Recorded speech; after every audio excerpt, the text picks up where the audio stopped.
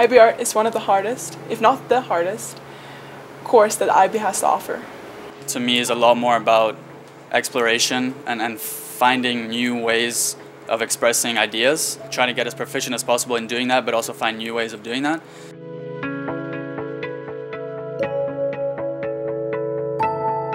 It's very structured and it helps us become like the best artists we can be in the real world after.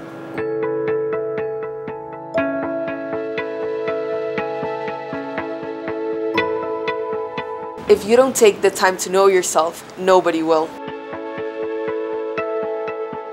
Art isn't just its own discipline. Art is mathematics, art is technology, art is literature. Everything can spark artistic creation.